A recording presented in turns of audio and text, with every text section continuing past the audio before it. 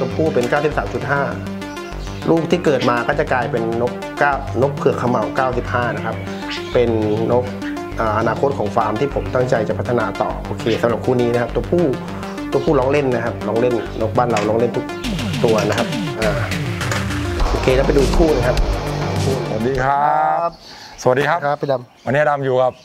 คุณก๊อฟออตานครับ อีกเป็นอีกครั้งที่กลับมาเยี่ยมเยียน คนเพาะเลี้ยงนกตัวจริงยินดีมากครับ แล้วจริง ๆ ไม่ใช่เพาะนกอย่างเดียวนะครับผมตอนนี้ทำอะไรบ้างอะปัจจุบันตอนนี้นี้จริงๆเอ่อในช่วงที่เทปแรกที่พี่ดำมาผมผมทำหัวจุกครับแล้วก็เลิฟเบิร์ดครับ แต่ตอนนั้นหัวจุกเพิ่งเริ่มทำ ครับ ตอนนั้นก็จะเป็นการเปิดเลิฟเบิร์ดอ่า ตอนนี้ ก็มีการทำอ้นด้วย แต่ว่าอืมไม่ได้เป็นเชิงธุรกิจสักเท่าไหร่ ยังไม่ได้ใช่ตัวโปรดของเรา ใช่ครับ ไก่ Silkie นี่พี่สนองรับไปหมดแล้ว พี่สนองเทคโอเวอร์ไปเรียบร้อยแล้ว ครับครับตอนนี้ก็ที่หลักๆก็คือมี นกกรงหัวจุกกับซึ่งเป็นนกแฟนซีใช่ครับแล้วก็มีนกครูมาคอยสอนใช่ครับเพราะเราเพาะเพาะเองหมดเลยใช่ครับปัจจุบันมีสายของฟาร์มไหนมาบ้างอ่าสายที่ผมนำเข้ามาในยุคแรกเลยตั้งแต่อ่าสองปีก่อนเนี่ยก็จะเป็นของเจมฟาร์มครับครับอ่าสายของพี่โจ๊กชัยนาทอ่าครับแล้วก็ตอนหลังก็เริ่มมีเอาสายอื่นเข้ามาด้วย แต่ครับก็จะเป็นในเครือเดียวกัน ก็มีของเป็นพี่อีทเชียงใหม่ครับครับอ่าเป็นเป็นคนที่ทำไก่ฟ้า ใหญ่อันดับต้นๆของเกือบภาคเหนือเกือบจะได้ไปเยี่ยมแล้วพี่อีทเนี่ยครับผมเขาครั้งก่อนไปงานที่เชียงรายมาแล้วลงไปเชียงใหม่เนี่ยครับเขาไม่ได้ลงกันก็เลยกลับกันก่อน พี่อีทบอกว่า เดี๋ยวรอทำบ้านใหม่ก่อนที่อยู่ในตัวเมืองอ๋อ รอบนี้ไปที่ยวจัดเต็มเลย ใช่ครับ บ้านแกไม่ใช่มินิไม่ใช่มินิซูนะแกเป็นสวนสัตว์ได้เลยนะได้เลยครับเป็นซูได้เลยเยอะมากครับ ครับผมอะแล้วมีของใครอีกครับ นอกจากพี่อีทเชียงใหมีม่ของพี่อีทแล้วตอนนี้ก็เอ่อมีของพี่แต๊กขัดเจ้า อ๋อเป็น เป็นนกสายเลือดใหม่ พัฒนาครับขึ้นมาใหม่ เป็นเขาเด่นเขาเด่นเรื่องอะไรลูกผสมครับอ๋อลูกผสมนกตัวใหญ่โครงสร้างใหญ่ แกนอ่าเสียงใหญ่อืมอ่าประมาณนี้ครับ IQ ดีผครัมบก็เลยเลือกที่จะเอาใส่พี่แต๊กเข้ามาพัฒนาด้วยร่วมด้วยและอีกใช่ครับตัวหนึ่งอีกที่หนึ่งอีกที่หนึ่งของเป็นของพี่จักริดบุญประกอบครับ อยู่อืมเพชรบูรณ์ครับอ่าครับเป็นสาย สายตาแดงครับ สายตาแดงก็เอาเข้ามาตั้งแต่สองปีแรกอืมแต่ว่ายังไม่ได้ให้ผลผลิตก็ก็รอต่อไปก่อน เท่ากับว่าตอนนี้เรามีผลผลิตใช่ไหมโรงเรือนเราอยู่ด้านหลัง ด้านหลังครับ ตอนนี้มีกี่คู่ครับ ตอนนี้ผมทำไว้ทั้งหมด 20 คู่ครับ 20 คู่ รู้ไหมคุณครับ คุณกอบผมเมื่อก่อนมานะไปนั่งก่อนที่จะไปรับคุณเจ้าอีฟเราเนี่ยอะเรียกคุณอีฟเลยนะเดี๋ยวก็ครับตกใจครับอีฟโกปีเนี่ยครับคุณพ่อเขาพี่ลมบอกว่า เมื่อไหร่จะมาทำเรื่องนกกรงหัวอยู่แฟนซีบ้าง เพราะว่า เพื่อนๆเนี่ยเขาต้องการครับพอดีเลยเดี๋ยวหิ้วกลับเลยนกด่าง เดี๋ยวเอาสักตัวหนึ่งโอ้ยินดีครับมีนะราคาตอนนี้เราเริ่มต้นตั้งแต่เท่าไหร่นะครับในเรื่องของเอ่อถ้าเป็นนกตัวผู้เป็นนกเด็กเนี่ยของผครับมเริ่มสตาร์ทที่ตัวละสามหมื่นห้าเป็นเป็นเผือกเลือดร้อยนะครับครับ ก็คือเป็นลูกนกอืมเป็นลูกนกที่เอ่อเพิ่งจะเรากำลังป้อนอยู่ประมาณไม่เกิน 2 เดือนก็ราคาประมาณนี้ แต่ถ้าเป็นนกที่เปิดเพลงแล้ว ครับนกพร้อมทำเนี่ยราคาก็จะถูกอัพขึ้นไปตาม ตามคุณตามคุณภาพของนกคุณภาพของนกประมาณเพราะเราจะดูด้วยว่าใช่แต่ละตัว IQ เป็นยังไงใช่ตรงนี้ก็เดี๋ยวลองมาติดตาม ตอนนี้เท่ากับมีลูกค้าเริ่มเข้ามาซื้อนกลูกค้าตอนนี้แฟนซีเราหรือยังตัวนี้มีแล้วครับมีมีตั้งแต่ปีแรกคือใน คือในเบื้องต้นเนี่ยมันก็จะเป็นเพื่อนๆเราครับที่ที่เขาสนใจ ตั้งแต่วงการกุ้งวงการอ่าไก่ครับแม้กระทั่งเพื่อนในวงการเลิฟเบิร์ดอ่าก็เข้ามาเที่ยวหา เพราะว่าหนึ่งเขาบอกว่าถ้าซื้อกับผมเนี่ยมันยังได้การดูแลกัน เขาก็เลยเลือกที่จะซื้อกับผมอ่าครับประมาณนั้นครับอ่านี่นะครับ คู่นี้จะเป็นคู่ไฮไลท์ของที่ฟาร์มนะครับโอเคไม่รู้ว่าน้องจะเห็นหรือเปล่าโอเคจะผ่านนี้ไหมโอเคช่องนี้เห็นไหมเอ่ยโอเคครับโอเค คู่นี้นะครับ ตัวผู้เป็นนกจากพี่แต๊กหัดเจ้านะครับ ตัวผู้เป็นเผือกเขมเหา93.5 นะครับ เป็นนกเผือกที่ตัวค่อนข้างใหญ่มากนะครับ ใหญ่ใหญ่กว่าเผือกร้อยทั่วๆไปนะครับ ตัวเมียเนี่ยก็จะเป็นตัวเมียเผือกร้อยนะครับ แต่ว่ามีลักษณะโครงสร้างที่ใหญ่มาก ผมก็ได้นำมาผสมกันนะครับ เดี๋ยวเดี๋ยวเดี๋ยวเดี๋ยวอ่ามาดูลูกนกของอวตารฟาร์มครับบิดเดอร์ตัวจริงของประเทศไทยเลยคนนี้ทำได้ทุกอย่าง นี่สายพันธุ์ยังไงครับเนี่ยอ่าเลือดไหนเอ่ย อันนี้ ตัวที่เป็นด่างนะครับครับอันนี้เป็นลูกแม่มะลิพอลาเชน ตัวนี้เป็นนกคู่เก่งของที่ฟาร์มครับ อ๋อลูกตัวเนี้ยคุณสมบัติมันคือทุกตัวที่เป็นตัวผู้เนี่ยร้องเล่นทุกตัว ตัวเมียเนี่ยอ่าพ่อแม่มันเป็นเป็นด่างทั้งคู่นะพี่ครับทุกตัวสามารถจ่ายลูกเผือกได้หมดอ๋อนี่คือคุณสมบัติของอ่าคือมียีนแฝงเผือกอยู่ในใช่ตัวแล้ลูกว มะลิลาลาเชน ส่วนตัวบนเนี่ยตัวขาวเนี่ย ตัวนี้เป็นเผือกเขม่า95 ครับเดี๋ยวนะตะกี้ลูกราเชนนี่คือตัวล่างนะตัวล่างครับมะลิราเชนครับมะลิราเชนนี่คือตัวนี้นะตัวเก่งนะ จ่ายลูกเป็นเผือกนะ ใช่ครับอ๋อส่วนตัวบนนั่นที่เป็นใช่ดังๆเผือกๆอยู่แล้วเนี่ยตัวนั้นตัวนั้นเป็นเผือกเขม่า95อ๋อเผือกเขมเหลาเหรออ๋อใช่ครับก็คือเป็นการผสมระหว่างอ่านกเผือกร้อยกับเผือกเขม่าอืมไล่ชั้นมาตั้งแต่ชั้นชั้น 50 ชั้น 75 มา 87 จนณปัจจุบันเนี้ยมันคือชั้นก็อะ95ถ้าเทียบเป็นแบบพวกไก่เป็นทำ F1 F2 F3 ใช่ไปเรื่อยๆใช่ครับให้มันมีใช่ความรับเข้มข้นของเลือดใช่ที่ครับใช่ครับดีขึ้นใช่ นะครับร้องเล่นทั้งสองตัวเลยตอนอ่าเป็นตัวผู้ ถ้าเป็นตัวผู้ร้องเล่นแน่นอนการันครัตีบจะสังเกตได้ว่านกตัวเนี้ย ผมให้พี่อดำทายดีกว่าว่าตัวเนี้ยในลักษณะตัวขนาดนี้พี่อดำว่าอายุมันประมาณเท่าไหร่ได้ ตัวนี้ก็ต้องลงรังมาไม่นานนะผมว่า ตัวเนี้ย เดี๋ยวนะเดี๋ยวนะดูจากขน โอ้โห เรื่องนกกรงนี่เฮียว่าไงเฮียถามเฮียโบถามเฮียโบดีกว่าถามเฮียโบ้ดีกว่าไหนต้องถามเฮียโบดีกว่าถามเซียนหน่อยเดือนนิดนิดเองเออลงรังมาไม่นานเออเดือนนิดเรามองว่าไงฮะอีฟอีฟบอกปีหนึ่งไม่ใช่นะ คือคือผมจะบอกว่าตัวนี้ในในในคุณสมบัติของนกลูกผสมเนี่ยครับ คือตัวมันจะใหญ่กว่าเผือกร้อย เพราะฉะนั้นนกตัวเนี้ย ถ้าเทียบกับเผือกร้อยจริงๆอะเผือกร้อยก็จะมีเกือบสองเดือนอ๋อได้ไซส์นี้อ่าแต่ด้วยเป็นลูกผสมเนี่ย อายุมันคือหนึ่งเดือนครับเขาบอกผ่านเขาเมามาอ๋อตัวนี้ตัวนี้หนึ่งเดือนคือหนึ่งเดือนดูนี่คือหนึ่งเดือนแล้วดูสังเกตอาจจะไม่เห็นโคดนับเข้าไปใกล้ๆครับตรงแก้มครับ ตอนนี้แก้มแดงแล้ว แก้มแดงตั้งแต่อายุสิบวัน คิ้วแดงแล้วครับอ๋อโดยปกติอะนกจะเริ่มแก้มแดงคิ้วแดงแค่คิ้วแดงที่ประมาณ2อถึงสเดือน แต่ตัวเนี้ย มันเริ่มแดงตั้งแต่10วัน นี่คือคุณสมบัติของอ่าลูกผสเห็นมเห็นเริ่มเห็นละอ่าใช่ครับ ทั้งคู่ด้วยใช่ใช่อ๋อเนี่ยครับ คือเป็นนกที่ผมตั้งใจพัฒนาขึ้น ใช้ใช้พ่อเป็น JM ครับ แม่เป็นของพี่แจ๊คหัดเจ้า อันนี้ในอนาคตนี่ถ้าสมบูรณ์แล้วราคาในฟาร์มเราจะอยู่ประมาณเท่าไหร่ ถ้าเป็นอ่า ตัวสมมุติเป็นตัวถ้าผู้ก่อน ถ้าเป็นตัวผู้สำหรับลูกผสมเนี่ย บ้านผมสตาร์ทที่ 55,000คือนกเด็ก ครับอืมน กกี่เดือนไม่เกิน 2 เดือน ไม่เกิน 2 เดือน คือนกถ้าประมาณนี้เลย ใช่ ถ้ามากกว่านั้นก็อัพอีกราราคาคาขึ้นไปหนึ่งเรื่อยตามอายุใช่ตามความครับเก่ง ใช่เพถ้าราะยิ่งอยู่นานเนี่ยเรามีเพลงครูเราเยอะๆใช่ครับ คือนกเนี่ยผมจะบอกว่า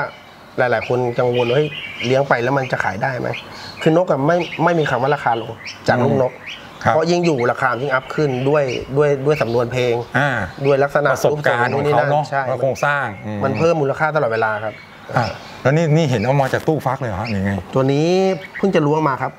เอาดีกว่าเฮียยังโบไงเนี่ยเฮียโบเนี่ยอยู่ในวงการหัวจุกมาค่อนข้างนาน ใช่ ผมให้เฮียโบถ่ายว่าลูกนกตัวนี้กี่วันกี่วันเฮีย อะ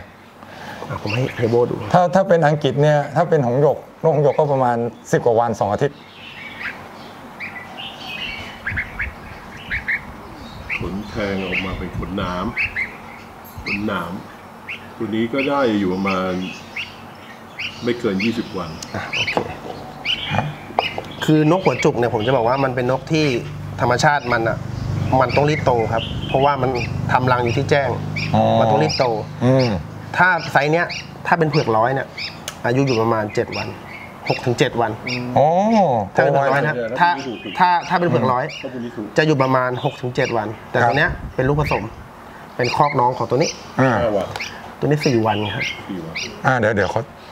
ลองจับใส่มือได้ให้ดูหน่อยใกล้ๆนี่ประมาณขนาดเท่านี้นะใส่สี่มือวันพี่ดำก็ได้โอเคผมจะให้ดูนกสี่โอ้โหวันมันตัวมันโอบจังเต็มมือเลยนี่ครับนกสี่วันนี่ครับนกสี่วันอุ้ยจะพอดให้ด้วย อันนี้เราเอากลับบ้านเลยก่อนเนี่ยครับนี่นี่คือนกสี่วันอ๋อโอ้โหนะแป้งมันใหญ่ใช่ครับแล้วเรื่องตลาดของนกแฟนซี ปัจจุบันนี้เป็นไงไหวไหมเอ่ยเอ่อตลาดแฟนซีเนี่ยเอ่อในในยุคแรก ๆ เลยนะพี่ครับก็คือแบบ หลายๆคนยังไม่กล้าเข้า เพราะว่านกราคาค่อนข้างสูงครับครับสูงหลักหลักหลายแสน อืม บางตัวเป็นหลักล้านก็มีอะไรประมาณเนี้ยครับผม ณปัจจุบันเนี้ยด้วยด้วยคนเริ่มทำเยอะขึ้น อ่าแล้วเศรษฐกิจด้วย ด้วยเศรษฐกิจด้วยราคานกก็มีขยับลงบ้างครับ ครับแต่ว่า ถ้าถ้าถามตัวผมเองเนี่ย ผมครัก็บยังว่าเป็นเป็นสัตว์เศรษฐกิจตัวหนึ่งที่ยังน่าลงทุนอยู่อะไรแบบน่าสนับสนุนด้วยนะใช่ภาครัฐตอนนี้อาจจะยังมีกฎกติกาบางอย่างยังไม่ไม่ได้เอื้อต่อการใช่ค้าขายมากใช่ครับแต่ถ้าเราทำถูกต้องตามกฎหมายก็ไม่มีปัญหา ใช่ครับอ่าแล้วอย่างของเราเนี่ยมองว่าตลาดแฟนซีของเรา คือเอ่อยังไปได้ในยุคแรกๆเนี่ยคนที่เคยเล่นนกดำเนี่ยครับนกครับคือนกนกโคจุกทั่วๆไปเนี่ยครับผมเขาก็จะมองว่าเฮ้ยแฟนซีมันไม่ร้องเล่นนะอะไรเงี้ยอ่าเพราะว่า ในยุคแรกๆเนี่ยนกมันเพิ่งจะมาจากป่า อืมการพัฒนามันยังน้อยอยู่อะไรเงี้ยอ่าเรื่องการเพาะเลี้ยงก็มีไม่เยอะใช่มันยังครับ มันยังอาจจะมีการอินบีดบ้าง เพราะว่านกอืมมันยังหาหาได้น้อยครับ ก็จะมีการพี่ชนน้องน้องชนพี่นกก็อาจจะไม่ร้องมีแต่สีอะไรประมาณเนี้ยอืม ณปัจจุบันเนี่ยคนไทยครับเก่ง พัฒนาเก่ง ใช่ คนไทยก็มีการผ่าเลือด เอาเลือดนั้นเลือดนี้มา ณ ปัจจุบันเนี้ย มีสนามแฟนซีเรียบร้อยแล้วครับ อ่าไม่ว่าจะเป็น สนามพี่โจ๊กสนามทางภาคอีสานอะไรพวกเนี้ยมีเยอะ เดี๋ยวโควิดหมดอะเดี๋ยวผมหาครับสนามกรุงเทพอีกหลายสนามให้เลย ใช่ครับ เพราะเพราะเตรียมไว้กับทางทีมงานของเราอยู่แล้วครับนะครับ ก็ของของแฟนซีเนี่ยคือปัจจุบันร้องเล่นแล้วใช่ไหมกำลังจะบอกแบบนั้นอ่าแฟนซีร้องเล่นมาหลายปีแล้วนะครับครับก็ตอนเนี้ยมีลูกค้าที่เคยเลี้ยงนกดำครับก็เข้าผมก็เข้ามาหาอยู่เพราะว่าเขาบอกว่าเอ่อยังชอบในการแข่งนก แล้วณปัจจุบันเนี้ย แฟนซีมันเริ่มจับต้องได้ง่ายอืนี่มันคือข้อดีของว่าเฮ้ยเมื่อเวลาราคานกเริ่มลงเนี่ยอืมคนทั่ว ๆ ไปจะเข้ามาจับต้องนกได้ ครับผมจากที่ทุกบ้านเคยมีนกดำแขวนเงี้ยต่อไปแฟนซีจะเริ่มเข้ามามีบทบาทมากขึ้นอืมแฟนซีก็จะเข้าไปอยู่ทุก ๆ บ้าน แต่ว่าณปัจจุบันเนี้ยผมกล้าการันตีได้ว่า ครับผมทุก ๆ บ้านยังไม่มีแฟนซีอืมยังมีไม่ครบ เพราะครับฉะนั้นเนี่ยยังไปต่อได้ ผมมองว่าไปได้ไกลยิ่งแฟนแฟนซีที่ร้องเล่นเก่งๆ ติดรางวัลโหยบ่อยอย่างที่เรารู้จักอยู่ตัวหนึ่งที่เราไปสัมภาษณ์มาคุณต้นอินเตอร์ฟิตบัวขาวโอ้โหบัวขาวนี่เก่งมากครับเก่งครับมากสุดยอดตัวนั้น เดี๋ยวตอนหลังเนี่ยอาจจะมีตัวที่เหนือกว่าบัวขาวก็ได้ครับถ้าถ้าคุณต้นไปสนใจแต่ปลาไม่ได้สนใจนกกรงนะเดี๋ยวเจอเดี๋ยวเจอใช่ครับบัวเผือกบัวเผือกของก๊อฟอวตารไปข่มครับอะเดี๋ยวโซนนี้เป็นโซนของกรงเพาะนกกรงหัวจุกนะครับอ่า เดี๋ยวเราก็จะมาไล่ดูแต่ละคู่ครับว่าอ่าผมมีนกอะไรบ้างนะครับโอเคนี่นะครับ คู่นี้จะเป็นคู่ไฮไลท์ของที่ฟาร์มนะครับโอเคไม่รู้ว่าน้องจะเห็นหรือเปล่าโอเคจะผ่านนี้ไหมโอเคช่องนี้เห็นไหมเอ่ยโอเคครับโอเค คู่นี้นะครับ ตัวผู้เป็นนกจากพี่แท็กหัดเจ้านะครับ ตัวผู้เป็นเผือกเขมเหา93.5 นะครับ เป็นนกเผือกที่ตัวค่อนข้างใหญ่มากนะครับ ใหญ่ใหญ่กว่าเผือกร้อยทั่วไปนะครับ ตัวเมียเนี่ยก็จะเป็นตัวเมียเผือกร้อยนะครับ แต่ว่ามีลักษณะโครงสร้างที่ใหญ่มาก ผมก็ได้นำมาผสมกันนะครับตัวเมียเป็นร้อยนะครับ ตัวผู้เป็น 93.5 ลูกที่เกิดมาก็จะกลายเป็นนกก้านกเผือกเขมเหา95 นะครับ เป็นนก อนาคตของฟาร์มที่ผมตั้งใจจะพัฒนาต่อโอเคสำหรับคู่นี้นะครับ ตัวผู้ตัวผู้ร้องเล่นนะครับร้องเล่นนกบ้านเราร้องเล่นทุกทุกตัวนะครับอ่าโอเคแล้วไปดูอีกคู่นะครับ คู่หนึงคู่สำหรับคู่นี้นะครับ คู่นี้เป็นเผือกร้อยทั้งคู่นะครับ ตัวผู้เนี่ยจะเป็นของ JM นะครับ ตัวเมียจะเป็นของพี่อิทเชียงใหม่ อ่า คู่นี้เป็นเผือกร้อยทั้งคู่นะครับ เดี๋ยวเราดูผ่านช่องนี้กัน ตัวนี้เป็นพ่อพันธุ์อีกหนึ่งพ่อพันธุ์นะครับพ่อพันธุ์หลัก ตัวผู้ชื่อว่าขุนเขานะครับ นี่นะครับ ตัวนี้ขุนเขานะครับตัวเขาขุนเขาเป็นนกเลือดของ JM นะครับร้องเล่นนะครับ ลูกที่ได้ก็จะเป็นเผือกร้อยนะครับ นกที่บ้านทำสองเวอร์ชันนะครับ ระหว่างเผือกร้อยกับลูกผสมนะครับ นี่เป็นนกอ่อนี่เป็นคุณเขานะครับ แล้วก็ยังมีนกไฮไลท์อีกหนึ่งหนึ่งคู่นะครับเอ่อคู่นี้เป็นคู่ดูกันในเบื้องต้นนะครับ เป็น ตัวนี้เป็นตัวเมีย ตัวเมียของพี่แท็กหาเจ้านะครับตัวเมียเป็น 93.5 นะครับ เป็นสาย 9 0 0 0 0ตัวเมียตัวนี้ใหญ่มากนะครับ ใหญ่มากนี่นะครับ ตัวเมียใหญ่มาก ตัวผู้เนี่ยเป็นไอสามร้อยนะครับ เป็นนกตัวตัวหลักของที่บ้านนะครับ แต่ว่าสามร้อยมีนิสัยค่อนข้างดุนะครับ ดุดัน มันจะจิกไข่ มันก็เลยจำเป็นที่ต้องตัก 300 ออกนะครับ แล้วก็ให้ตัวเมีย กกไข่ตัวเดียวนะครับ ตัวนี้นะครับ เป็นตัวเมียที่ค่อนข้างใหญ่นะครับแล้วเราก็ไปดูสภาพกรงทั่วไปนะครับ ว่าในกรงเพาะเนี่ยเราควรจะต้องมีอะไรบ้างนะครับ ในเบื้องต้นเนี่ยการทำกรงเพาะเนี่ยอ่าสำหรับตัวผมเองเนี่ยไม่เน้นกรงเพาะที่ใหญ่มากนะครับ กว้างกว้างแค่ประมาณเมตรสามสิบสูงเมตรแปดสิบนะครับ ลึกสองเมตร นี่ก็คือกรงเพาะนกกรงหัวจุกที่บ้านผม ตะข่ายเนี่ยครับควรจะต้องเป็นสองหุ่นเท่านั้นนะครับสองหุ่นเท่านั้น เพราะว่าถ้าเป็นตะข่ายสี่หุ่นเนี่ยงูจะเข้าได้หนูจะเข้าได้ เพราะฉะนั้นตะข่ายสองหุ่นเนี่ยปลอดภัยสุดนะครับ ในกรงเพาะเนี่ยก็จะมีต้นไม้นะครับใส่เพื่อความลมลื่นไม่ให้นกรู้สึกกังวล ถามว่ามีมีได้ไหมไม่มีได้ไหมไม่มีก็ได้นะครับ แต่ถ้าเราใส่ไปเนี่ยนกก็จะแบบไม่ค่อยระแวดระวังสักเท่าไหร่นะครับ ก็จะง่าย ๆ ครับของผมก็จะมี น้ำนะครับที่แขวนน้ำทั่วๆไปเลยอาหารตรงเนี้ยคือง่ายๆนะครับ แขวนทั่วๆไป เวลาให้เราก็เดิมรดนะเติมน้ำแบบนี้เลยครับ ช่องเนี้ยช่องเปิดใส่อาหาร กล้วยก็จะวางไว้แบบนี้เลยง่าย ๆครับ เป็นเป็นผมเลี้ยงตามสไตล์ผมอะครับไม่ค่อยยุ่งยากสักเท่าไหร่ไม่ค่อยแบบพิธีรีตองมาก ก็นกกรงหัวจุกเนี่ยเออผมว่าถามว่ามันต้องดูแลมากไหมคือวันละครั้งครับ คือวันละครั้งจะดีมากทุกๆเช้า หลังหลังเก้าโมงทำไมต้องหลังเก้าโมงเพราะช่วงก่อน9โมงเนี่ยนกมันจะเป็นช่วงที่นกไข่ตั้งแต่เช้ามืดยัน9โมงนกมันจะไข่เวลาประมาณนี้ โดยโดยประมาณอ่าก็จะเป็นที่ต้องเราเข้าหลัง9โมงเข้าบ่ายได้ไหมเข้าบ่ายก็ได้ครับ เอาเวลาที่เราว่าง แต่ว่าช่วงมืดเนี่ยเข้าไม่ได้ห้ามเข้า เพราะนกจะตกใจอาจจะบินชนกรงตายได้อะไรประมาณนี้นะครับ ก็โดยทั่วๆไปนะครับก็ไม่ได้มีอะไรมากมายนะครับนกกรงหัวจุกเนี่ย คือสังเกตได้ว่าโรงเรือนผมเนี่ยเป็นโรงเรือนสองชั้น เราให้น้องอีฟแพนขึ้นไปนะครับด้านบนนะครับเป็นโรงเรือนสองชั้นนะครับ เพราะว่าสมมติเปิดประตูเนี่ยล้วงลูกนกพ่อแม่พันธุ์บินสวนหลุดมาพ่อแม่พันธุ์ยังยังอยู่ในนี้นะครับ ค่อนข้างที่จะปลอดภัยในเบื้องต้น safety สองชั้นเนี่ยกันหมาแมวได้ร้อยเปอร์เซ็นต์นะครับหมาแมวเข้าไม่ได้ เราก็จะกันปัญหาเรื่องนกจิกลูกนกทิ้ง นก clear ไข่อะไรประมาณนี้นะครับทำให้ เรา save ชีวิตลูกนกเราไว้ได้ เพราะว่าเงินเม็ดเงินที่มันจะตอบแทนเรากลับมาเนี่ยค่อนข้างสูงนะครับ ก็จริง ๆ แล้วถ้าใครจะเริ่มต้นเนี่ยผมมองว่าไม่ยากนะครับ ไม่ยากถ้าเรามีข้อมูลที่ที่ดี มีนกที่ดีเข้าทำเนี่ยไม่ยากใครจะทำปรึกษาได้ครับ จะซื้อนกฟาร์มผมหรือไม่ก็ สุดแท้แต่นะครับ ถ้าซื้อฟาร์มผมก็ยินดีครับ หรือไม่ชอบฟาร์มผมจะไปฟาร์มอื่น ผมก็ยินดีให้คำปรึกษาครับ คือผมถือว่าทุกคนคือเพื่อนๆร่วมวงการเดียวกัน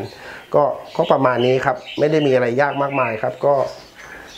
ภาพโดยรวมก็จะประมาณนี้ครับง่ายๆ ผมทำอยู่ 20กรงเพาะนะครับ นกก็ประมาณนี้ อ่าโอเคครับกลุ่มพวกนี้นกครูนะเอาใช่มาครับพวกนี้เป็นนกครูครับที่เราเอาไว้สำหรับก๊อปเพลงครับผมคือ นกครูเนี่ยหลายคนว่าเฮ้ยมันไม่จำเป็นอะแต่จริงๆแล้วเนี่ยการทำนกเนี่ยหัวใจหลักๆ มันไม่ใช่แค่สีครับครับ คือนกหัวจุกเนี่ยมันต้องร้องเล่น เพราะฉะนั้นนกครูเนี่ยก็เปรียบเสมือนคุณครูที่คอยสอนเด็ก ๆ ให้หัดพูดหัดเขียนให้หัดเรียนจำไว้ใช่ตั้งแต่นกครูเล็กเนี่ยๆเลยเลยมีความจำเป็นครับในการสอนลูกนกเรา ถ้าลูกนกเรา IQ ดีคือหมายหมายความว่าเอ่อ มันมีสติปัญญาที่ค่อนข้างดีครับจำเพลงได้ดีใจกล้าอะไรพวกเนี้ยมันก็จำเพลงได้ง่าย แล้วนกครูของเรานี่จะเป็นเพลงแบบบทแบบไหนแม่ขบองทผยังมไงเนี่ยเป็นแม่บทครับเป็นครับแม่บทแล้วก็เป็นลักหวายคือเป็นเพลงเป็นเพลงสากลนะครับ ครับผมแบบเพลงง่ายอ่าๆจำง่ายครับๆยังไม่ใช่เพลงโซนครับเป็นเป็นเพลงง่าย ๆ ที่ใช้ในการแข่งทั่วๆไปทั่วไปประมาณนี้สนามทั่วไปใช้อยู่ใช่ใช่ครับแล้วมือใหม่สนใจที่จะมาทำเป็นแบบว่าฟาร์ม เพื่อที่จะเพาะเลี้ยงขยายพันธุ์นกแฟนซีเนี่ยครับเขา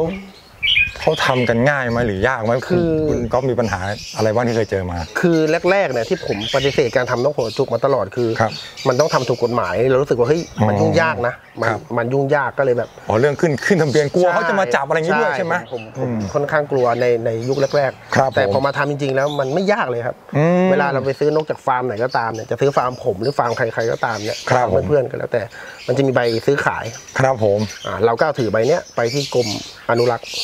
ไปของไปยื่นครอบครองกรมกรมอุทยานใช่ไหมไปครับยื่นที่ไปยื่นครอบครองเสียครับตัวละห้าสิบบาทอืมพอยื่นครอบครองเสร็จปั๊บก็